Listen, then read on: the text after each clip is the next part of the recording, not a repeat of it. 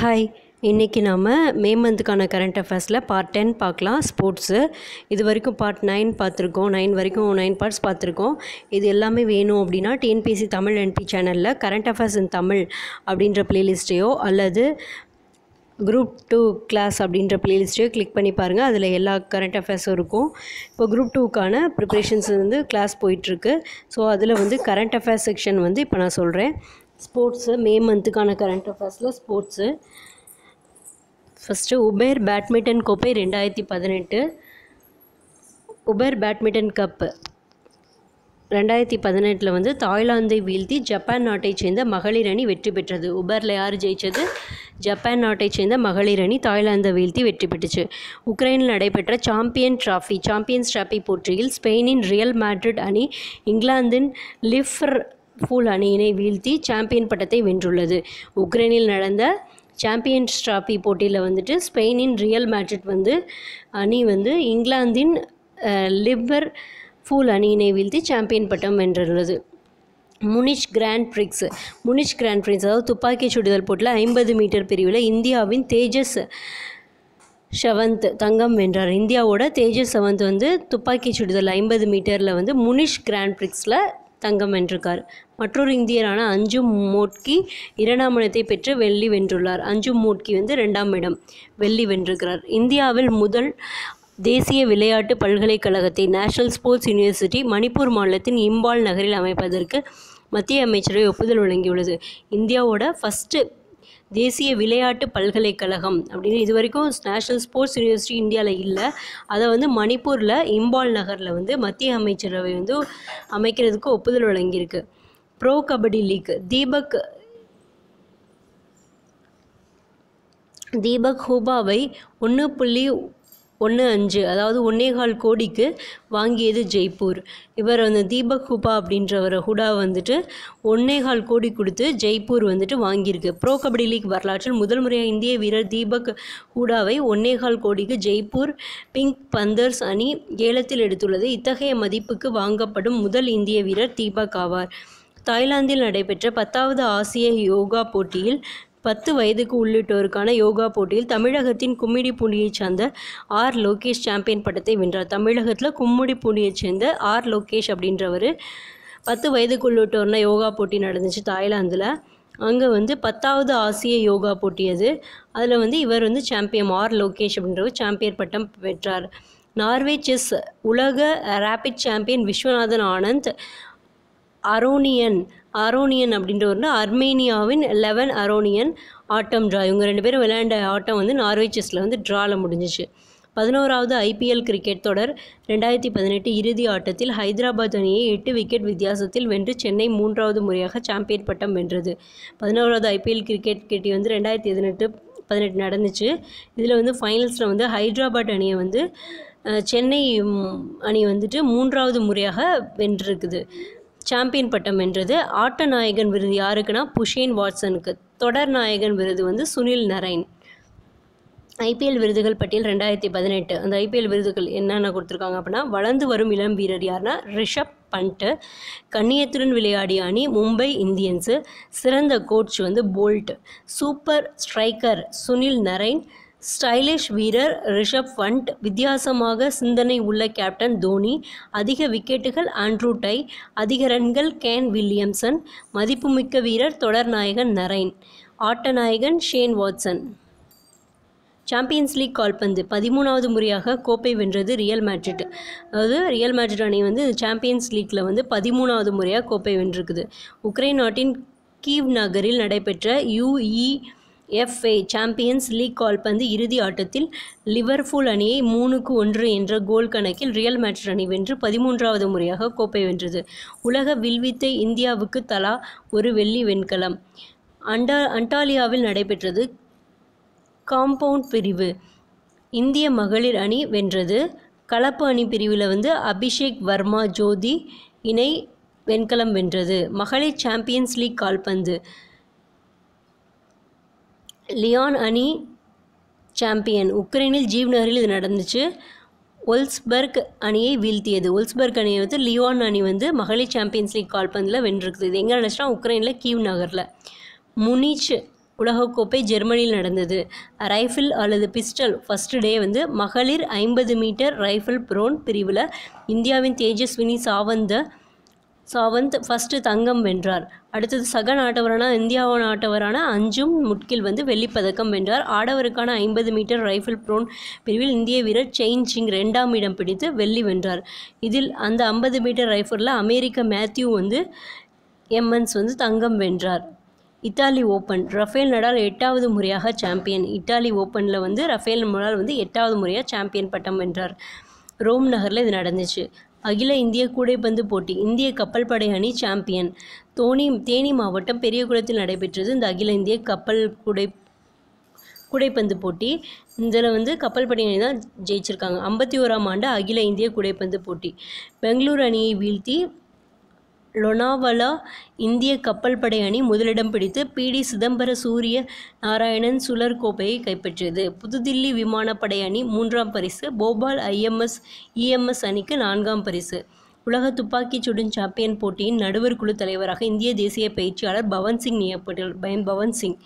ஜெர்மனியின் முனிக்கல் முனிக்கில் இப்போட்டி நடத்தப்படுகிறது.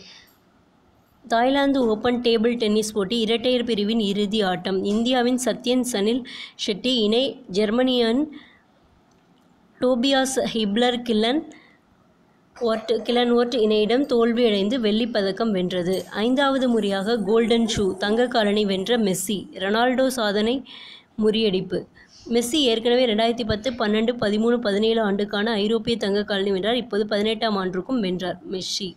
ரொனால்டோட சாதனையை முறியடிச்சிட்டார் அஞ்சாவது முறையாக வென்று இத்தாலி ஓப்பன் டென்னிஸ் ரெண்டாயிரத்தி பதினெட்டு. இத்தாலி ஓப்பன் டென்னிஸ் ரெண்டாயிரத்தி பதினெட்டு மகளிர் பிரிவில் போட்டி இறுதிச் சுற்றில் உலகின் முதல்நிலை வீராங்கனையான ருமேனியாவின் சை சைமன் ஹலேபை வீழ்த்தி உக்ரைனின் எலினா விட்டோலினா சாம்பியன் பட்டம் வென்றார். எஃப்ஏ கோப்பை கால்பந்து செல்சி அணி சாம்பியன் எஃப்ஏ கோப்பை கல் கால்பந்தில் செல்சி அணி சாம்பியன் இங்கிலாந்தின் பிரபல எஃப்ஏ கோப்பை கால்பந்து போட்டியில் செல்சி அணி ஒன்றுக்கு ஜீரோ என்ற கோல் கணக்கில் மான்செஸ்டர் யுனைடெட் அணியை வீழ்த்தி சாம்பியன் பட்டம் வென்றது. தமிழ்நாடு டென்னிஸ் சங்கத்தின் தமிழ்நாடு டென்னிஸ் அசோசியேஷன் சிறந்த டென்னிஸ் வீரர்களுக்கான டி. கே. ராமநாதன் விருது ரெண்டாயிரத்தி பதினெட்டு இந்திய வீரர் பிரஷ்னேஷ் கண்ணேஸ்வரனுக்கு வழங்கப்பட்டது. இந்திய வீரர் பிரஷ்னேஷ் கண்ணேஸ்வரனுக்கு வழங்கப்பட்டது. ஃப்ரெக்ஸிட் எதிரொலி. கிராண்ட்ஸ்லாம் போட்டி பரிசு தொகையில் ஃப்ரெஞ்சு ஓப்பன் முதலிடம். ஃப்ரெக்ஸிட் எதிரொலியில் ஃப்ரெஞ்சு ஓப்பன் முதலிடம்.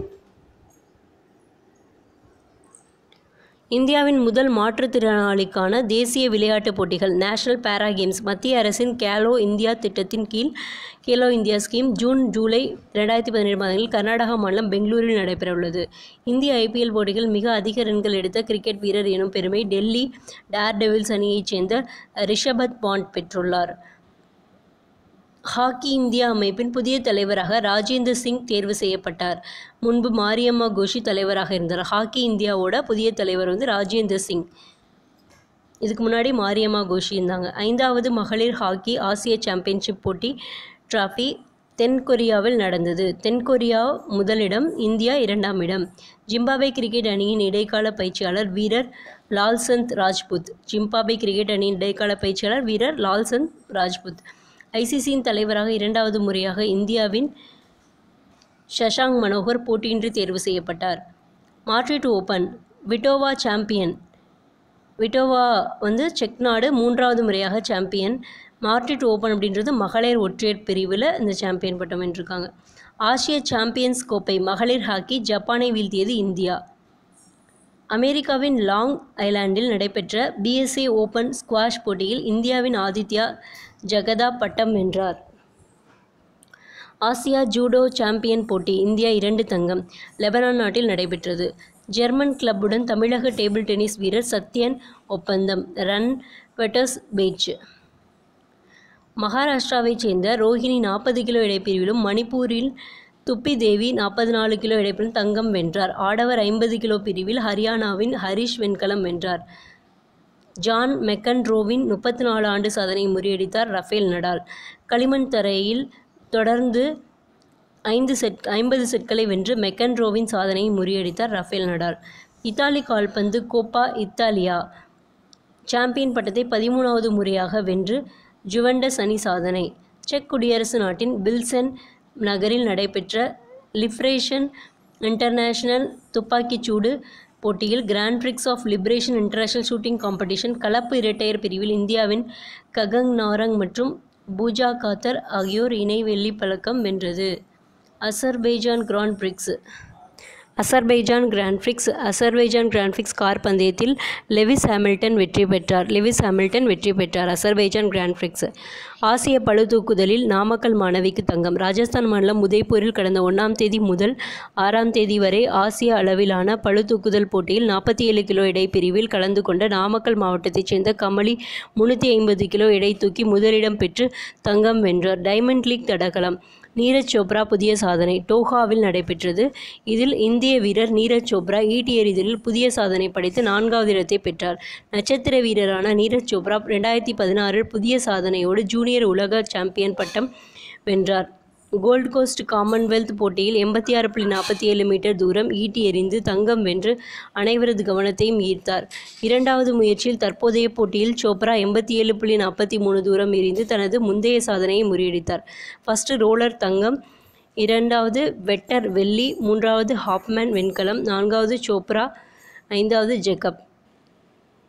நல்லதான் மே மந்த்துக்கான ஸ்போர்ட்ஸ் நியூஸ் வந்து இவ்வளோ தான் இந்த ஸ்போர்ட்ஸ் நியூஸில் வந்து எல்லா நியூஸுமே மோஸ்ட்லி மே மந்தில் உள்ளது கவர் ஆகிடும் இதை திரும்ப திரும்ப வந்து போட்டு ரிப்பீட் பண்ணி கேட்டு பாருங்கள் உங்களுக்கு கண்டிப்பாக அது வந்து அந்த ஸ்போர்ட்ஸ் நியூஸும் உங்களால் ஈஸியாக வந்து உள்வாங்கிக்க முடியும்.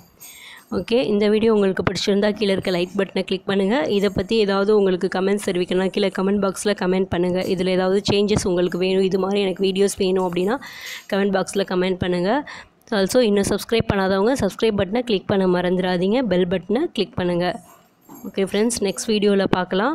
உங்களுக்கு வேறு என்ன வீடியோஸ் வேணும் அப்படின்னாலும் கீழே வந்து கமெண்ட் பண்ணுங்கள் உங்களுக்கு வந்து வீடியோஸ் வந்து ப்ரொவைட் பண்ணுறோம் ஓகே மே மந்த்க்கான கரண்ட் அஃபேர்ஸ் இதோட டென் பார்ட்ஸ் வந்து முடிஞ்சது. இனிமேலுக்கு வந்து அடுத்தது ஜூன் மந்த்துக்கான கரண்ட் அஃபேர்ஸ் சீக்கிரமே போடுறோம். உங்களோட நீங்கள் ஷேர் பண்ணுறதுலையும் இது வந்து நிறைய பேருக்கு நீங்கள் ஷேர் பண்ணுறதுலையும் உங்களோட லைக் பண்ணுறதுலையும் உங்கள் சப்ஸ்கிரிப்ஷன்லேயும் தான் இருக்குது எங்களை நாங்கள் அடுத்து ப்ரிப்பேர் பண்ணி போட போகிற வீடியோஸ் எல்லாமே. உங்களுக்கு நிறையா வீடியோஸ் வேணும் அப்படின்னா முடிஞ்ச அளவுக்கு இதை வந்து ஷேர் பண்ணுங்கள் அடுத்தது உங்களோட ஷேரிங் பார்த்துட்டு ஜூன் மந்த்துக்கான கரண்ட் அஃபேர்ஸ் போடுறோம்.